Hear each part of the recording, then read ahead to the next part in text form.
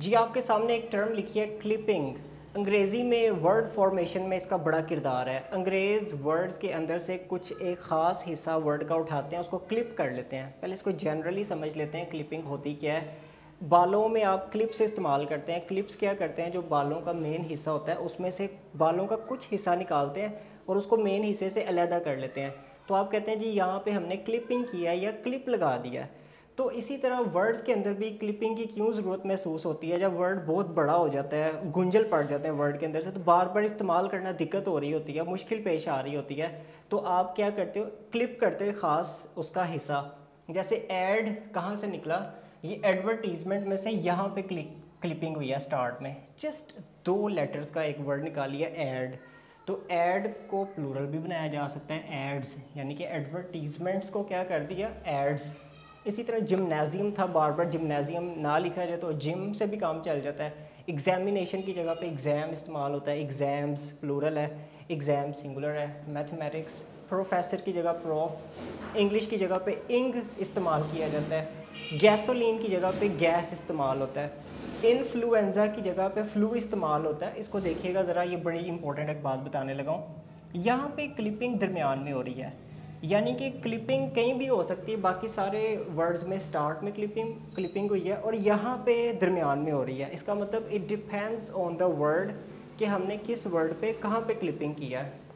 अभी एक मज़ीद एक टर्मिनोलॉजी आपको बताता हूँ हाइपोखोरिज़म अब हाइपोखोरिज़म क्या चीज़ है? हाइपोखोरिज़म ये ऑस्ट्रेलियन इंग्लिश में और ब्रिटिश इंग्लिश में वर्ड्स के साथ खेला जाता है तो वहाँ पे हाइपोखोरिज़म यूज़ किया जाता है। वैसे अगर आप जनरली इस वर्ड को सर्च करते हैं डिक्शनरी के अंदर तो ये होता है निक नेम देना किसी को। जैसे पेट एनिमल्स को निक नेम्स दिए जाते हैं। जैसे आजकल बकरों के लोगों ने निक नेम्स रखे हुए थे। ये भी दरअसल में निक नेम्स ही हैं, लेकिन किसके निक नेम्स हैं, वो भी मैं आपको बताता हूँ। पहले इसको लिंग्विस्टिक्स में इसकी डेफिनेशन देख लें। लिंग्विस्टिक्स में ये यूज़ होता है टू शॉर्टन अ वर्ड हम ये यूज़ करते हैं किसी वर्ड को शॉर्ट करने के लिए। यानी कि एक बड़ा वर्ड है, उसको शॉर्ट करने के लिए। रूल क्या इस्तेमाल होता है? एंड पे ई की आवाज़ आती है। जैसे मूवी, ब्रेकी, टेली, बुकी, एक वर्ड है हैंकी। हैंकी भी लिख देते हैं इधर। एच ए एन के आई ई हैंकी।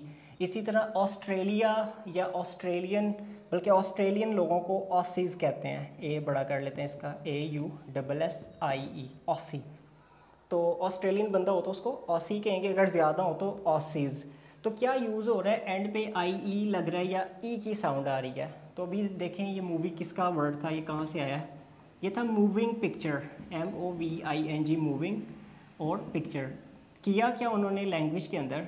उन्होंने ये आई के बाद सारा उड़ा दिया और इस आई के बाद ई लगा लिया। तो मूवी क्या हो गया जी? मूविंग पिक्चर ब्रेक ही क्या चीज़ है? ब्रेकफास्ट से उन्होंने, ये दरअसल में ब्रेकफास्ट नहीं होता, ये तो हम रॉन्ग प्रोनाउंस करते हैं।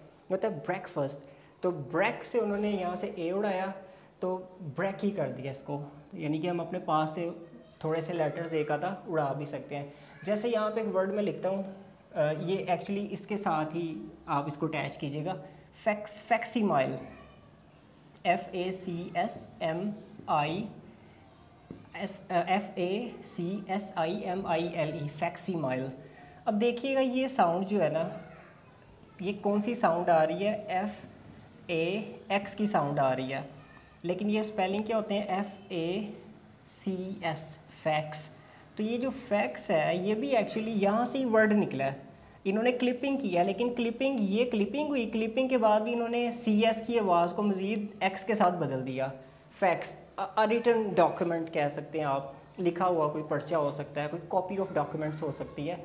तो फैक्स ये क्लिपिंग हुई है यहाँ पे। और यहाँ पे क्या हो रही है? यहाँ पे हाइपोखोरिज्म हो रहा है। अच्छा जी टेली कहाँ से निकला? टेलीविज़न से टेली कर दिया उन्होंने। जैसे आप टेलीविज़न फ़िल्म कहते हैं ना टीवी की फ़िल्म तो वहाँ पे टेली फ़िल्म यूज़ किया जा सकता है। इसी तरह बुक ही कहाँ से निकला था? बुक मेकर से। बुक मेकर बुक मेकर को क्या कर दिया? यहाँ से आगे सारा उड़ाया और आगे आई लगा दिया। बुक ही हैंकर चीफ जो हाथ का रुमाल होता है वहाँ से उन्होंने हैंकी कर दिया। औसी मैंने आपको बता दिया। तो अभी आपने करना क्या? थोड़ी सी आपने रिसर्च करनी करनी है मेरे साथ। मैं आपको नॉलेज दूँगा। ये बड़ी बड़ी चीज़ें हैं। इसके ऊपर पूरे के पूरे hundred thousand millions of words base कर रहे हैं। तो वो वर्ड्स आप लोग ही बनाते हैं। जो लैंग्वेज यूज़र होता है वो बनाता है वर्ड्स तो फिर यूज़ होना शुरू हो जाते हैं। आपने करना सिर्फ़ ये है कि अगर आपने 100, 200, 300 वर्ड्स को भी कॉन्शियसली देख लिया कि यहाँ पे क्लिपिंग ऐसे हुई है और हाइपोकोरिज्म ऐसे हुई है। तो वो होगा क्या? वो आपके ब्रेन का हिस्सा बन जाएँगे। फिर फर्दर फ्यूचर में आपके लिए वो कैबलरी को अंडरस्टैंड करना बड़ा आसान हो जाएगा। और आप कोई भी टेक्स्ट पढ़ रहे होंगे पैराग्राफ पढ़ रहे होंगे तो उसके अंदर से आपको फ़ौर पता चल जाएगा कि ये वर्ड अच्छा इस जगह पे इस्तेमाल हुआ है। यानी कि अगर फ्लू ही कहीं पे इस्तेमाल हो तो फ्लू का तो लोगों को पता ही नहीं होता कि ये, अक्सर लोगों को नहीं पता होता कि ये इन्फ्लुएंजा से निकला है। और ऐड ऐड ऐड चलता रहता तो ऐड तो एडवर्टीज़मेंट से आया। इसी तरह फैक्स फैक्सी माइल है। प्रॉफ भी लिखा होता है जी प्रॉफ आगे कोई Shoaib prof Shoaib prof David. तो वो प्रॉफ जो है, वो प्रोफेसर होता है। तो ये बड़ी ज़रूरी चीज़ें हैं इन लैंग्वेज की डेप्थ्स को अंडरस्टैंड करना। इससे आपके इल्म में इजाफा होता है। Thank you very much for watching the video if you like it please share with your friends and don't forget to subscribe the channel take care Allah हाफिज़